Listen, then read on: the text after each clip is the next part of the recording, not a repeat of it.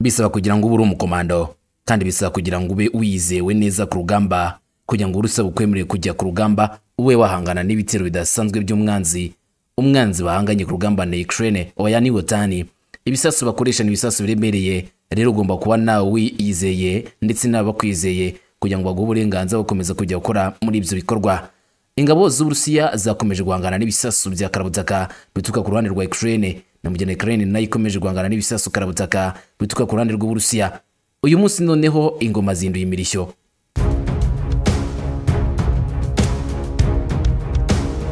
Mbaza ngo bigenze gute? Uburusiya nyuma y'uko butangaje ko buzihorera ku buryo bwose bushoboka bwarangije bufata ibikoresho byose bishoboka n'ibidasanzwe Ukraine itigeze itekereza maze abarusiya barunda ku mipaka barunda mu bice byose byabemerera kurasa ku butaka bwa Ukraine nyamara Ukraine na yo iti natwe turiteguye guhangana namwe mwabarusiya mwe ntabwo muzakomeza guhagarara mwenyine nakwerekana ivugire wotani tuzakomeza duhangane kugeza ku munota wa nyuma. Ubu tuvugana CIA ubutasi bwa leta zunze za Amerika bwahaye umurongo intambara ya Ukraine. Bugaragaza irangira ryayo n'uburyo igomba kurangiramo bashingiye ku makuru y'ubutasi bafite. Bari barangije kwinjira igisirikare cy'uburusiya ndetse mu minsi ishize bagaragaje indege yabo y'intambara igenda itata za radar. Ku butaka buzengurutse uburusiya bwose babunyuzeho banyura muri Latvia Lithuania Hungary banyura mu bihugu nka Pologne Finland. Bareba neza niba uburusiya bwiteguye kujya ku rugamba rweruye na, otani. Basanga ibimenyetso bigaragaza neza ari ukurimbuka kwa otani yose ahubwo mu gihe bamenyereye uburusiya. Leta zunze za amerika zihinduye imvugo zigaragaza uburyo intambara igiye guhita irangiramo byihuse. Nyamara ukraine igiye gutabwa mu nama. Igiye kwangwa n'ibihugu by'iburengerazuba bw'isi maze ibyo yiyemeje gukorera uburusiya biyinanire. Bigiye kuba igihe cyo kurimbuka kwayo nimba yanze ibitekerezo biturutse mu butasi bwa leta zunze ubumwe za amerika bakiyumvira ko bishakira intambara. Dore ko ubutasi bugaragaje neza yuko nta kindi gikwiriye usibye kurangiza iyi ntambara binyuze mu buryo bw'ibiganiro. Ngo ikaze mu kanya gato mubwire byose. Ariko kandi nanone sinabura kukubwira ko korea ya ruguru yagize gutya ikerekana yuko ari igihugu kidasanzwe gibangamiye cyane umutekano wa leta zunze ubumwe za amerika kandi inshuti magara ya vladimir putin. Ati messier putin mon frère. Inshuti yanjye magara dukorana umunsi ku wundi. Reka nze nkwereke uburyo tugomba guhonda ibihugu by'iburengerazuba dukoresheje izi mbaraga nge ntunze reka tuzigerageze nkwereke uburyo zikora. Ninkubwira ko bamwe mu bajenerali bakomeye bo mu bihugu by'uwa Ukraine batangiye kubona yuko urugamba rwabo rutazijya rugera ku ntego wabyemera. Kurski intambara irakomeje ngo ikaze tufungure page dufungurize updates zigezweho. Open updates. Bayikaze. Genda umungu wa kamanzi.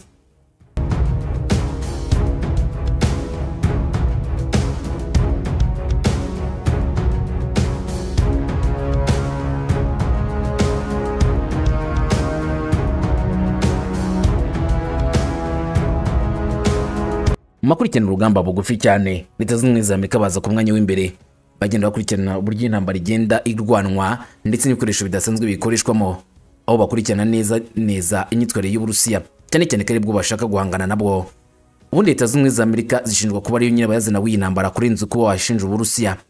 Ndetse n'imbaraga zose ukraine ifite ngo turuka kuri leta zunze ubumwe za amerika. Dore ko n'ibindi bihugu by'uburengerazuba bw'isi byose bitanga inkunga byishingikiriza kuri leta zunze ubumwe za amerika the boss. Uburusiya ntibwagumye kuvuga yuko ukraine imeze nk'igikinisho igipupe.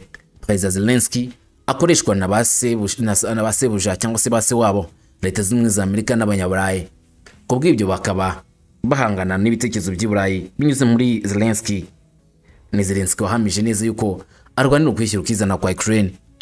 Ni ukraine na yo ivuga yuko irwana n'uburusiya bwayiteye ndetse ubw'iburengerazuba bw'isi bigashyigikira yuko iki gihugu cya ukraine kirwanaho. Muri iyi ntambara imaze iminsi itari mikeya hagiye hagaragaramo imbaraga zidasanzwe za gisirikari. Ndetse n'uburyo bwa diplomasi bwagiye bugaragazwa ko ari uburyo budasanzwe muri kino gihe.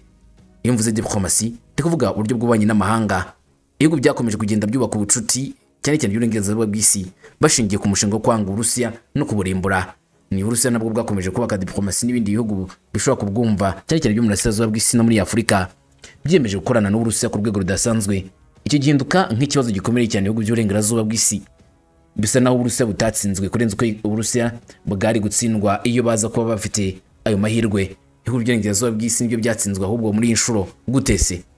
Mu bihugu by'uburasirazuba bw'isi byanze kumvira itegeko rya leta zunze ubumwe za amerika n'abanyaburayi. Bahitamo kumva gukorana n'uburusiya. Uko niko bimeze muri afurika ahubwo bimwe na bimwe byacanye ku maso. Bikabona ko ari ngombwa kumvira uburusiya kwijyanira n'uburusiya kurenga kujyana n'abakoloni bo mu burengerazuba bw'isi.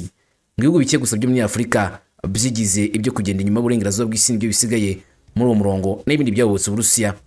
Bitigeze byamagana uburusiya kandi abo bishyigikiye uburusiya muri iyi ntambara. Ngo impamvu uburusiya burwana irumvikana.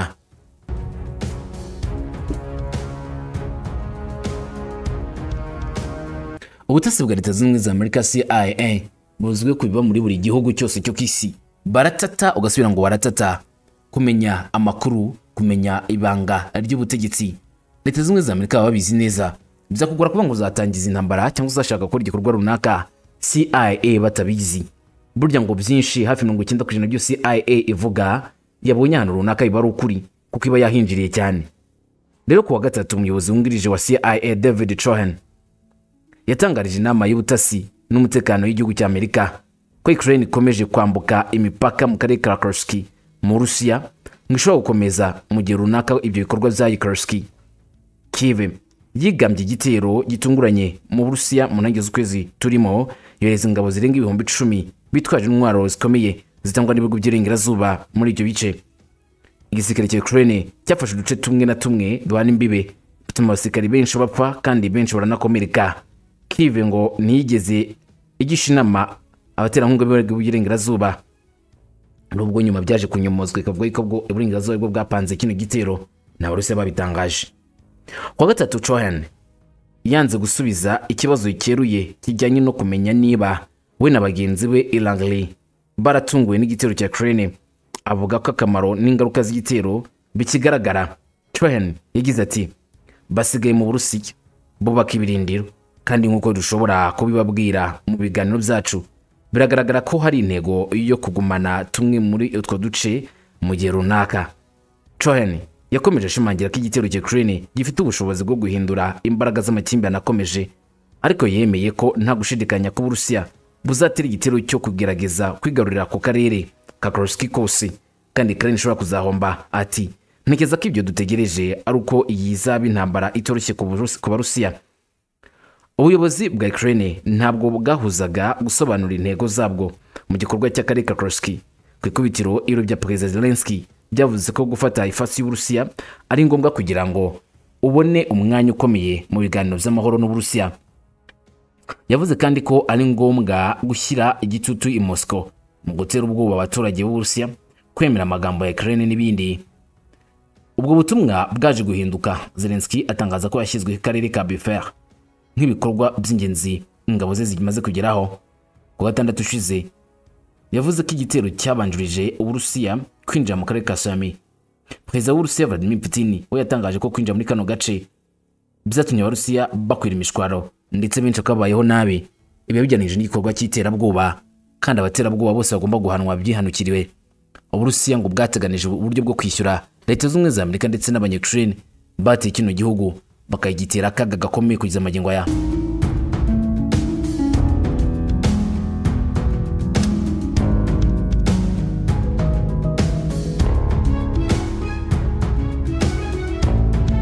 Bushobozi bukoreshwa na Ukraine. Harimo intwaro zatanzwe leta z'ubumwe za amerika za MLRS ndetse harimo n'indege za drone ibihugu by'uburengerazuba bw'isi byashyikirije Ukraine. Gusa muri ibyo bikoresho byose bakoresha Ukraine yifuzaga gukoresha igikoresho kidasanzwe cya TSMC Storm Shadow ndetse n'izindi ntwaro zituruka mu burengerazuba bw'isi zizwiho kuba ari long range missile za misile zigera ku ntera ndende. Ngo ni cyo cyari icyifuzo nyamukuru cyo gutuma iyi ntambara iba yararangiye ngo turi kuvuga iyindi nkuru mu yindi sura. Ko uburusiya bwakubiswe cyangwa se bwatsinzwe ku rugamba. Nyamara Ukraine yangiwe ubwo burenganzira bwo gukoresha izo ntwaro ku butaka bw'Urusiya birinda amakimbirane adasanzwe aho Putin yahise abereka ati dore hariya mfite igifalo gihetse salmati kabiri mfite satani kabiri yarimbura wowe leta zimwe za Amerika mu gihe wakoze ikosa ugatanga SMS yo kuntera. Nzahita nkwereka uburyo ibintu biba bigenda igihe abantu barimo kurwana. Nzakwereka igikoresho cyanjye kuri Washington DC kandi nzakerekanira Kive n'abandi bafatanyabikorwa bawe bose mu gihe muzaba mukoze ikosa ry'ubusazi mugatera ku butaka bw'Uburusiya. Ntabwo nzabihanganira ntabwo nzababarira. Nzakora mu mbarutso nzakora mu mvuto maze mbereke icyo turi cyo nzabereka abarusiya aba ari bo. Nzabereka yuko twebwe Russians turi indwanyi kandi zidahagarika ku rugamba. Nzabereka ibyo nakoreye abanazi mu gihumbi kimwe magana cyenda mirongo ine na rimwe yuko uyu munsi turi ku by'inshuro nyinshi. Nzerekana ibi bidasanzwe kuri mwebwe banyaburayi n'abanyamerika kandi muzamara igihe runaka mubabaye. Muzabaza rimwe uburusiya tubabaza inshuro igihumbi. Ntabwo turi abakorwaho. We are not untouchable we are untouchable.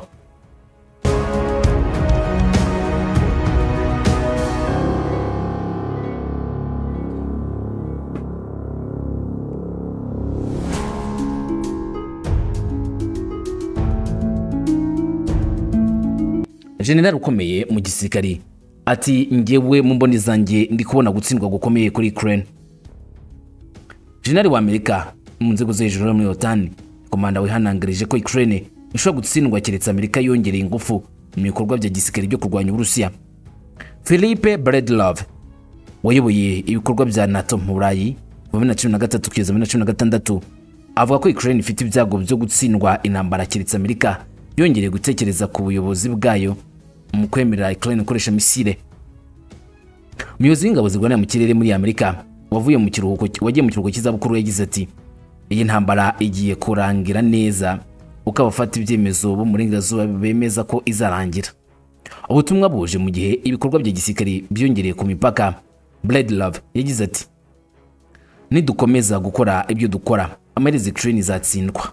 Kubera ko ubu tutabigambiriye guha Ukraine ibyo bakeneye byose ngo babashe gutsinda. Kugeza ubu Amerika ishyiraho amategeko abuza misile ndende za balistike batanga kuri Ukraine ikabuza gukoresha ibitero bya gisirikari izo misile ku butaka bw'Uburusiya abayobozi bwa Biden bushimangira ko ubu buryo bwo gutanga intwaro zateye imbere muri Ukraine ari ngombwa kugira ngo hatabaho igisubizo cyo kwihorera.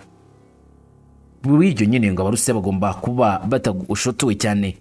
Hakoreshejwe zino ntwaro batazaza kubona ibyago bikomeye bibagwiririye. Perezida w'urusiya vladimir putin abayobozi ba demokarasi nabo bavuga ko kwitonda no guhitamo intwaro zitangwa ari ngombwa kugira ngo uyu mugabo batinya atazabagwa nabi. Bamwe mu basesenguzi bemeranya bavuga ko icyo gitero cya Ukraine hamwe na misile ndende za balistike zo muri Amerika zishobora kubonwa na Putin nk'igitero simusiga cya Amerika ku Burusiya. Abashinga amateka b'abarepublikani basesengura ibijyanye n'umutekano. Kimwe n'abademokarate kuva kera bumvikanye na generali ko izo mbogamizi zigomba gukurwaho. Hanyuma hakabaho ibikorwa bikomeye byo kurasa ku burusiya.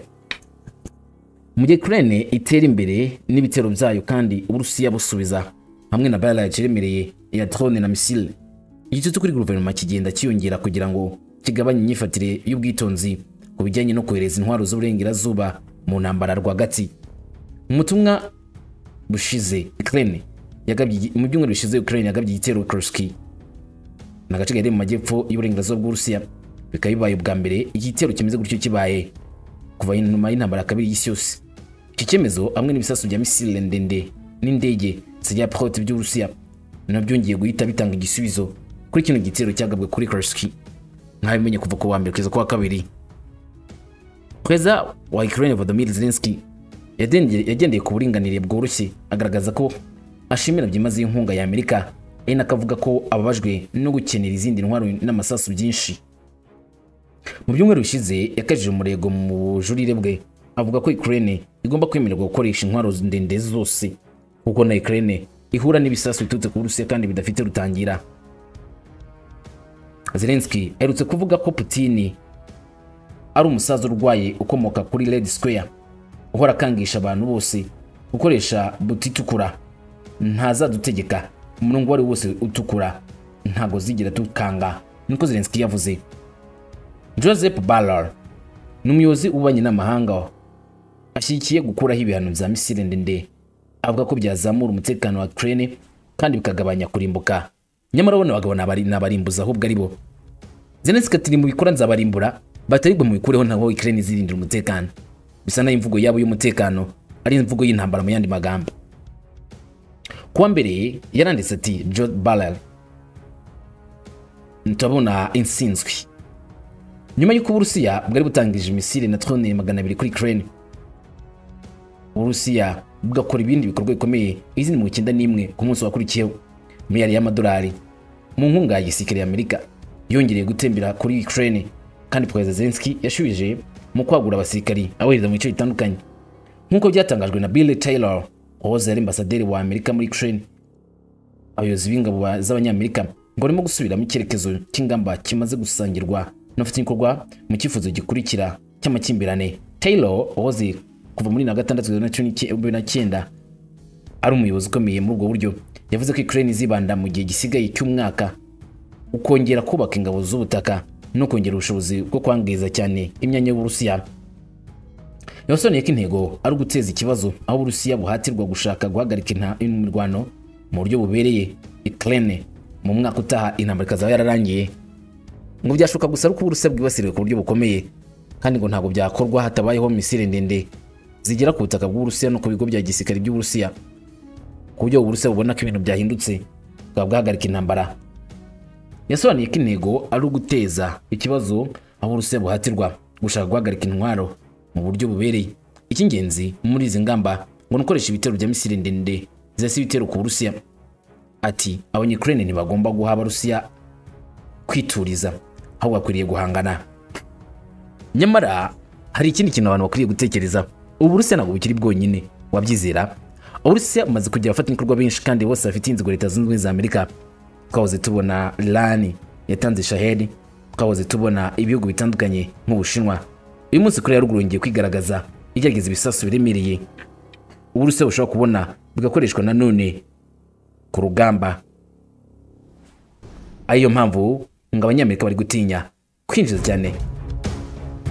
Binjiza misile barisitike ndende ku butaka bw'uburusiya.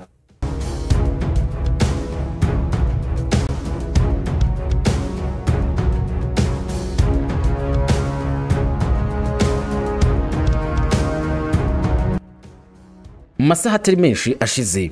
Korea ya ruguru yongeye kugaragaza neza ko elisitede yiteguye gukomeza kuba inyuma y'uburusiya kandi yongera kwerekana ko ifite imbaraga cyane mu bya gisirikare.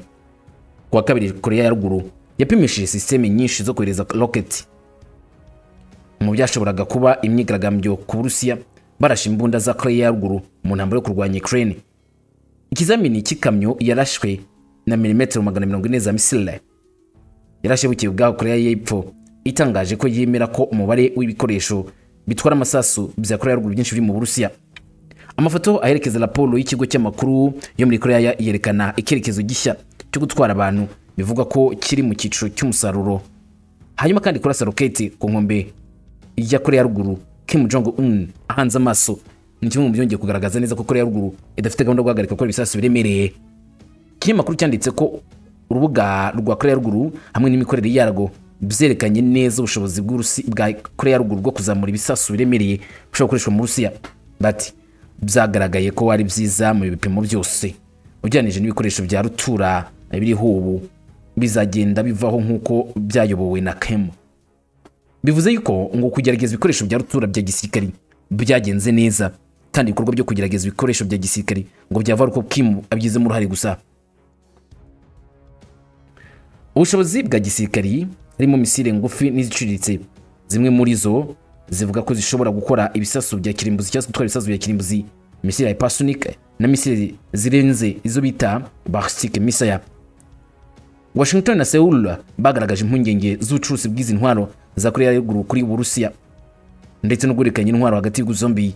Muri raporo yagejejwe ku baturage kuwa kabiri ubutasi bwa Korea y'Epfo bwavuze ko hari agaciro ka kontineri zirenga ibihumbi cumi na bitatu zikekwa ko zoherejwe cyangwa se hoherejwe ibisasu bya rutura birenga ibifite agaciro miliyoni esheshatu n'ice cumi na bitanu. Byari byakurikiranwe byerekeza mu burusiya ku cyambu cya najini cyo muri korea ya ruguru.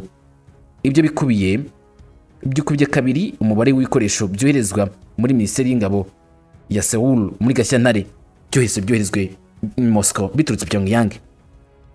Moscow na Pyongyang bahakanye ko hari ihererekanya ububasha ry'intwaro ryabaye nubwo Ukraine yatangaje ko misile zo muri Korea ya ruguru zikoreshwa muri iki gihugu.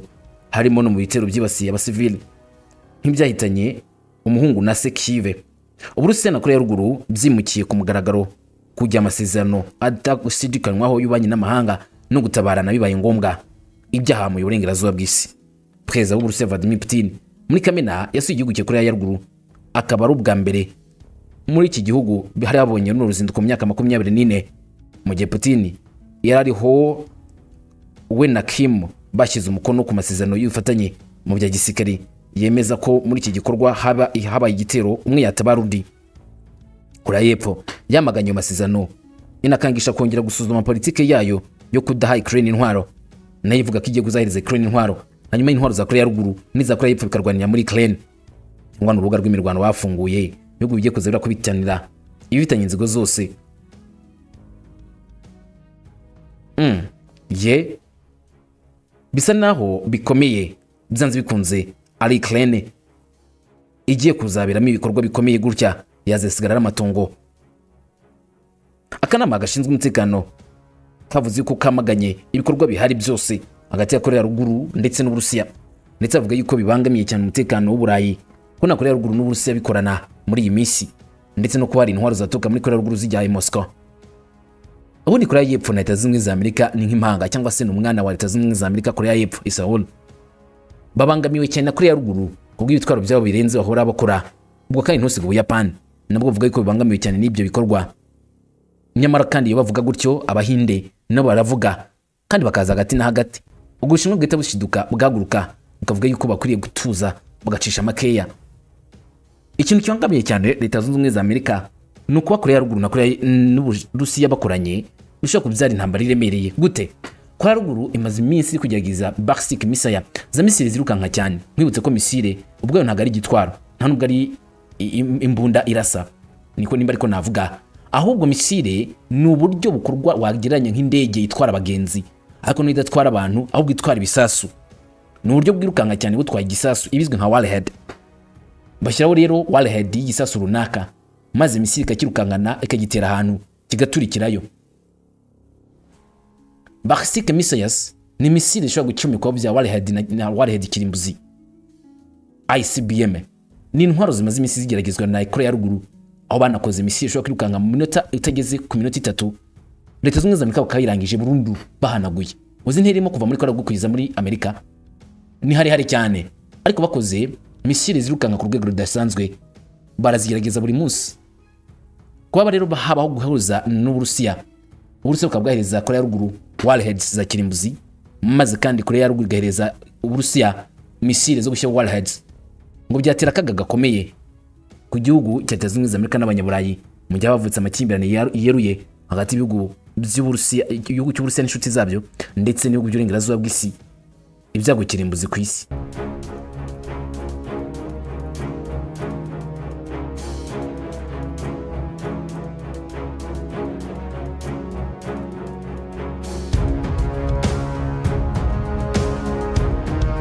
Tukivuga ku bushobozi bukomeye cyane bwo kurimbura agace runaka. Ukraine kubyina ku rukoma. Yabonye ubushobozi bwo kurimbura Moscow.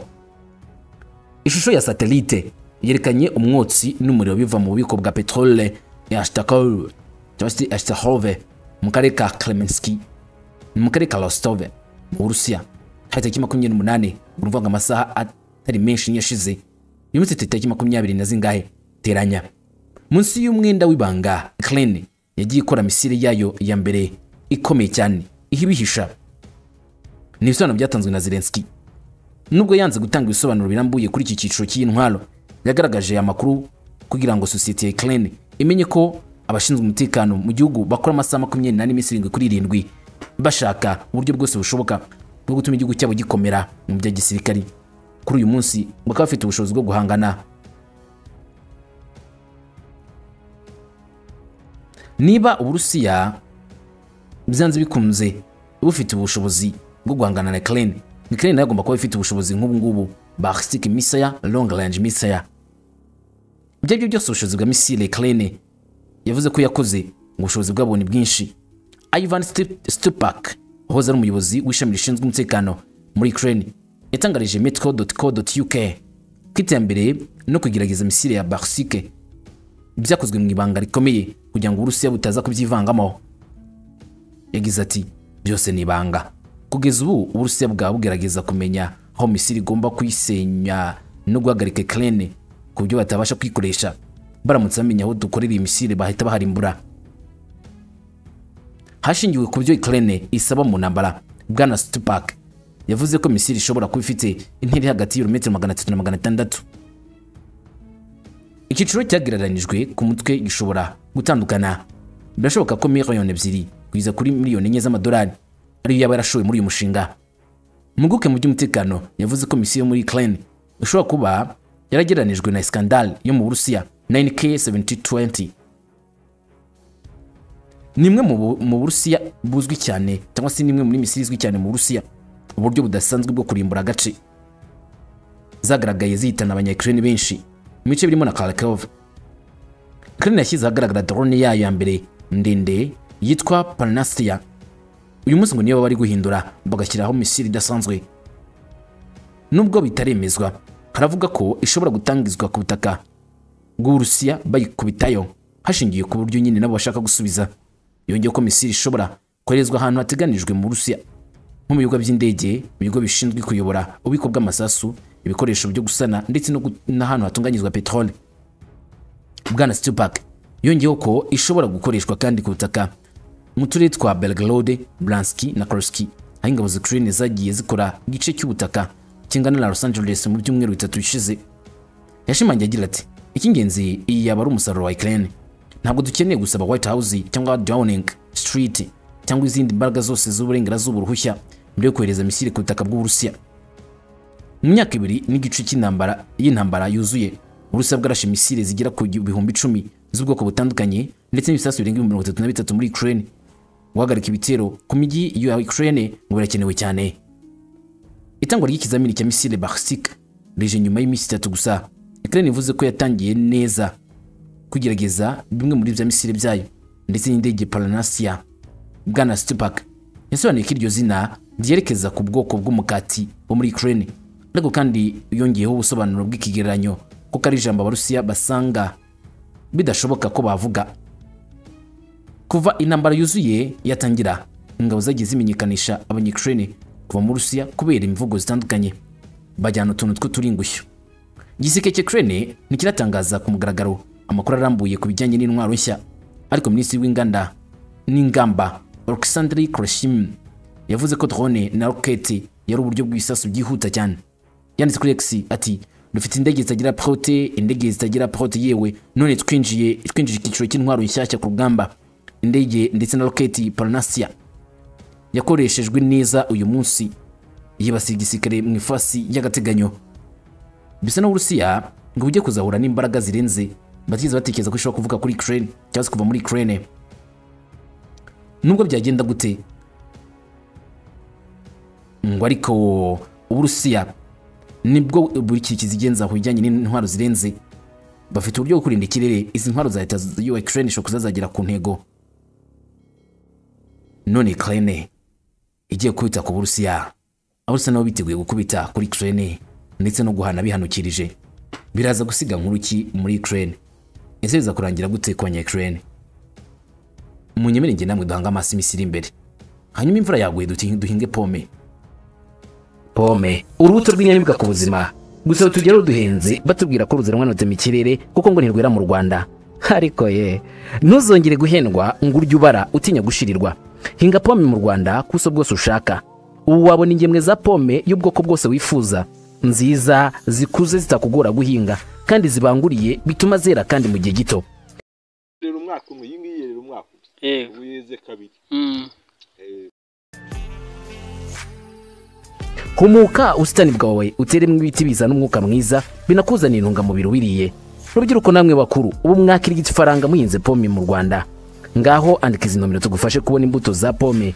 Byoroshye cyangwa uduhamagare ushire amatsiko ku buhinzi bwa pome mu rwanda.